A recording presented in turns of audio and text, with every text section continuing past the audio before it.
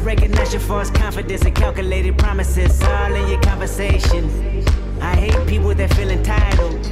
Look at me crazy cause I ain't invite you. Oh, you important, you the moral to the story. You endorsing, motherfucker, I don't even like you. Corrupt a man's heart with a gift. That's how you find out who you dealing with. A small percentage you I'm building with. I want the credit if I'm losing or I'm winning. On my mama, that's the realest shit. Let's talk about love.